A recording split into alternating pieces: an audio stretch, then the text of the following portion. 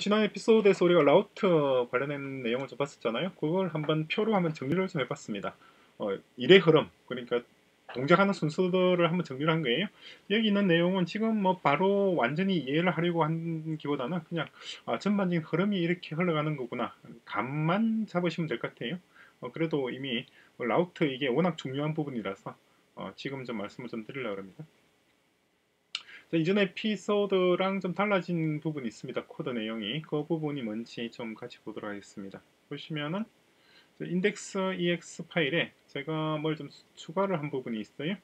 보시면은 어, 여기 handle param 있죠? handle param에 보시면은 어, IO inspect handle param 있고 IO inspect socket assigns 이렇게 넣어뒀어요. 그죠? 그럼 이게 이 function이 호출되면 우리 터미널에 이 내용이 이제 표시가 되도록 구성을 한 겁니다.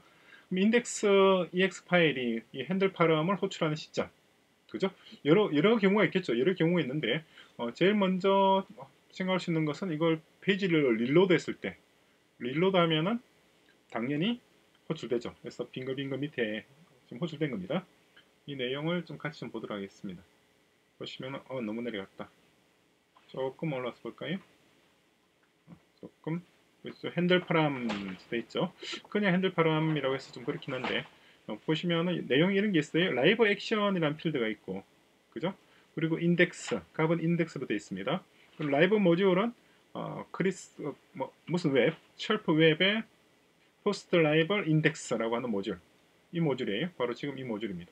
그렇죠? 그리고 포스트에서 어, 지금 우리가 있는 포스트가 뭐가 있는지 이렇게 하나 포스트가 하나 지금 표시되어 있는 화면에 표시된 어, 데이터가 지금 표시되고 있는 거예요. 이 데이터가 지금 눈에 보이는 이겁니다. 그렇죠? 자, 그래서 이것도 조금 더 어, 정리를 좀 다르게 볼까요? handle param은 handle param인데 이게 인덱스의 handle param이죠. 인덱스 ex의 handle param. 어, 다시 한번 reload 해볼까요? reload 하면은 바뀐 내용이 있을 거예요. 밑에 내용을 보시면은 쭉 내려와서 쭉쭉 더 여기 있죠. 인덱스 EX의 handle param이고 그 내용은 우리 좀 전에 봤던 그 내용 그대로입니다. 우리 이제 관심 있게 보는 거는 live action에서 인덱스라고 하는 게 들어있는 부분이에요. 그 인덱스를 누군가가 이 live action이라는 키에 인덱스라는 value를 넣었단 말이잖아요. 그죠? 어, 넣었죠. 어, 누가 언제 어디서 넣었느냐? 피닉스가 넣었는데 피닉스 언제 이런 값을 넣었는지 그걸 보자는 겁니다.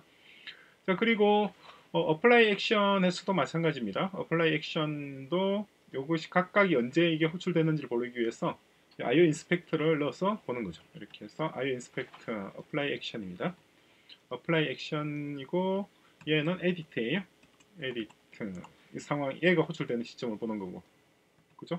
그리고 apply action에서 얘는 new가 호출되는 시점을 보는 것이고 그리고 또 하나 더 넣을까요? 그래서 얘는 어, index가 호출되는 시점을 보는 겁니다. apply action. 그리고 밑에 조금 더 내려와서 delete 있죠? delete가 호출되는 시점. 이건 handle event죠, 얘는.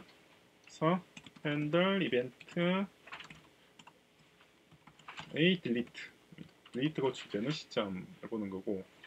그리고 뭐 list posts는 일단 그만두죠. 해서 그리고 또한 다른 것들도 마찬가지입니다. 쇼 같은 경우에도 똑같이 이렇게 handle params에서 show의 handle params가 호출되는 시점을 볼 수가 있죠. 볼 수가 있고 그리고 마운트가 호출되는 시점을 보려면은 이것도 마찬가지 그냥 찍으면 되겠죠. 이렇게 해서 얘는 쇼의 마운트입니다. 쇼의 마운트 펑션이 호출되는 시점. 그래서 이때의 소켓 어자인의 값들을 다 볼 수가 있죠. 자, 이렇게 세팅을 하고 난 다음에 그런 다음에 실제 우리가 쇼 버튼을 클릭했을 때 그죠? 쇼 버튼을 클릭했으면 밑에 쭈루루rum이 뭐가 많이 동작했어요. 이 동작한 결과값을 볼 수가 있습니다. 이걸 오른쪽으로 좀 옮겨 놓을까요? 이걸 어, 옮기고 그리고 얘는 좀 지워 놓죠.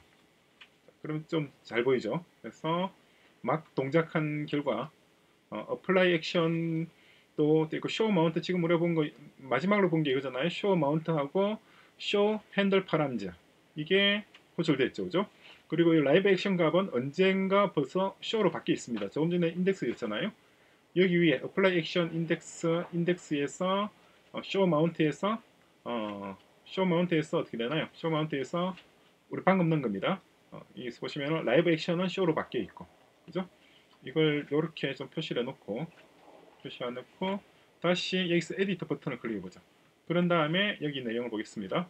어, 쇼 핸들 파람 지금 새로 등장한 내용이죠. 어, show handle params에서 이번에 live action이 edit로 바뀌어 있습니다. 보이죠? 그리고 post 값도 지금 추가되어 있죠. 현재.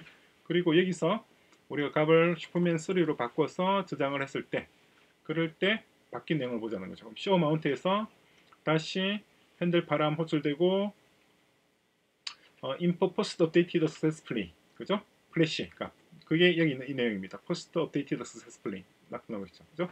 해서 어, 전반적으로 이 어, 지금 우리 간단하게 추가해 놓은 추가해 둔이 내용들 IO inspect를 통해서 우리가 어떤 동작을 했을 때 어떤 function이 호출되고 그리고 어, socket assign 값, 이 socket assign 값이 계속 패, 이게 그러니까 state가 관리되고 있는 부분입니다. 그죠? 이게 우리의 state입니다. our state. state가 어떻게 변경되는지를 계속해서 볼 수가 있습니다. 그리고 지금 뭐가 계속해서 reload 되고도 있죠. 그래서 이렇게 해서 전반적인 흐름을 보시면 이런 그림을 볼 수가 있습니다. 요게 보시면 먼저 우리가 route ex 파일을 정리를 했죠. route ex 파일이 요 파일입니다. 보시면 route ex 파일에 이런 내용을 추가를 했습니다. 그렇죠? 이게 가장 기본이 되는 내용이에요. 이 기본 내용에 따라서 지금 동작하는 것들이 연결이 됩니다. 그래서 그리고 우리가 그 버튼을 클릭하죠. 어떤 버튼을 하나 클릭하게 되면은 이 버튼에 연결되어 있는 route 모듈의 function이 호출되도록 구성이 됐습니다. 이건 어디에 연결되어 구성되어 있느냐니까 보시면은 show의 leex 지금 edit라고 하는 버튼입니다. 이 버튼을 클릭하면은 이렇게 루트 모듈에 post show pass라고 하는 펑션을 호출하고 이 펑션의 아규먼트로서 이 값을 전달하도록 구성이 되어 있죠. 그죠? 따라서 모든 버튼들이 보시면은 다 이렇게 어, 루트 모듈에 특정한 펑션, 어떤 펑션을 호출하고 그 펑션에 이러한 아규먼트를 전달하도록 그렇게 구성이 되어 있어요. 그죠? 구성이 그렇다는 겁니다. 구성이 왜 그렇게 되어 있는지는 일단 차치하고 해서 어, 라우터가 먼저 이렇게 라우트에 이렇게 우리가 규정이 되어 있었고 버튼들이 있었죠. 어떤 버튼을 클릭했을 때 그 버튼이 호출하는 function이 있었죠. 그죠? route 모듈에 post index path new new 버튼을 클릭했을 때는 이 function이 호출되고 쇼 버튼을 클릭하면은 이 function 각각 연결되는 function이 있단 말이에요. 둘 다 edit 버튼인데 이 edit는 어디 요런 요런 형태 주소창이 이러한 형태일 때 클릭된 edit이고 여기는 이 edit는 이 형태 서로 처리하는 데가 달라요. post live index에서 처리하고 얘는 post live show에서 처리를 합니다. 무슨 말이냐니까 이 그림에서 지금 지금 음, 자 지금 다시 내려가서 초기 화면 들어갈게요. 초기 화면에서 이때 쇼 버튼을 클릭할 때 보이는 것하고 그죠? 그리고 잠깐만 잠시 헷갈렸습니다.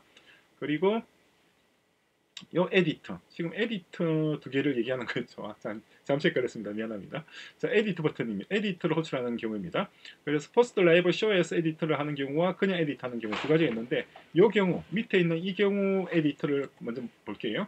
이 경우 edit는 여기서 지금 여기서 에디트한 경우 그죠? 이때 뭔가 동작에서 뭔가 화면이 뿌려지고 있잖아요. 여기에 호출된 것이 이겁니다.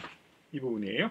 그렇지 않고 또 마찬가지로 어, 이걸 쇼한 다음에 여기서도 에디터 버튼이 있단 말이에요. 여기서 에디터 버튼을 클릭했을 때 똑같은 게 나타나죠. 그때 어쨌거나 실행된 것은 달라요. 그때 실행된 것은 얘입니다. 이해되시나요? 그죠?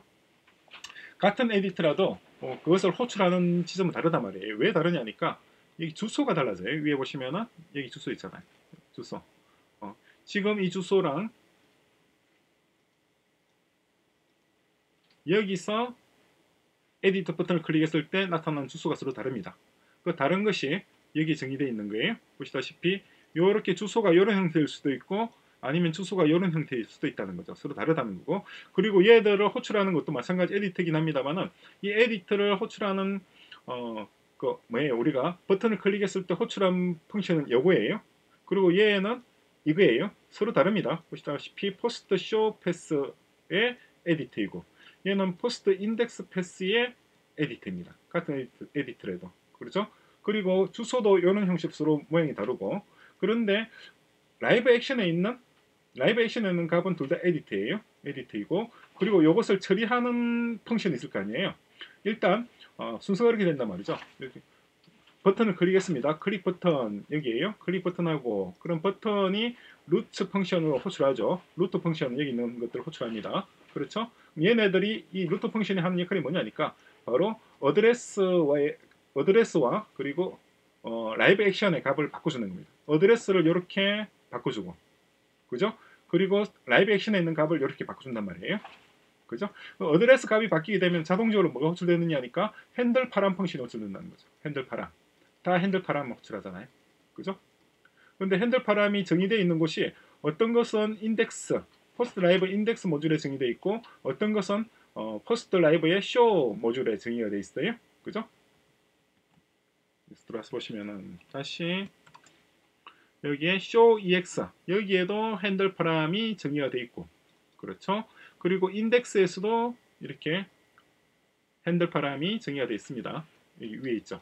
그죠? 그래서 어떤 경우에 어떤 function들이 호출되고 있는지 그것들을 조금 순서에 맞춰서 제가 정리를 좀 해본 겁니다. 이 페이지에다가 이 페이지를 참고로 하셔서 아 하나 더 있네요. 이렇게 있는 거 요거 어, 버튼을 클릭했을 때 경우도 이렇게 동작하지만은 우리가 어, 수, 수동으로 주소를 바꿔주더라도 똑같습니다. 예를 들어서 주소를 여기다가 포스트에서 뭐, 뭐 1번 한다거나 1번 딜리트 됐던가요? 뭐 딜리트 됐군요. 주소를 바꿔주거나 여기서 new를 넣어준다. 주소를 바꿔줬잖아요. 웹 주소 창을 바꿔줬어도 이렇게 페이지가 새로 reload가 되죠. 그죠? 그 내용은 이렇게 정리를 했습니다. 어, 주소를 바꾸고 주소를 바꾸면은 바꾼 것이 change live action. 이것도 마찬가지. 어, action live action 값도 주소에 따라서 바뀐단 말이에요. 바뀌고 그에 대해서 이 두 가지를 argument를 해서 handle param function을 또 호출하도록 이렇게 구성이 되어 있습니다. 자, 전체적인 흐름이 좀 이해가 되시나요? 이게 100% 완전히 이해가 안 된다 하더라도 상관없습니다.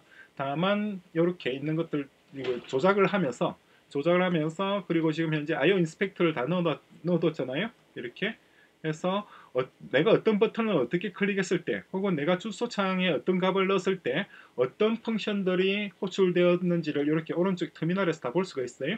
그죠? apply action index가 호출됐고 그때 뭐예요 이거 이거서 어, assign socket assign의 값은 이러하고 그죠? 그리고 또 다른 경우 요 이런 인덱스 ex의 핸들 파람이 호출되는 시점이 언제이고 그리고 그때의 값은 음, socket assign의 값은 어떠하고 특히 live action의 값이 어떠한지를 보면서 보시고 그리고 요 라우트에 정의되어 있는 이 값 라우트에 정의되어 있는 내용과 그리고 어, lex 파일에 있는 루트 루트로 정의되어 있는 이 값들 보이시죠? 여기 있는 이 값들 이걸 서로 비교해가면서 전반적인 흐름과 구조를 한번 파악을 하기 위해서 일단 파악하려고 한번 시도를 해보시기 바랍니다.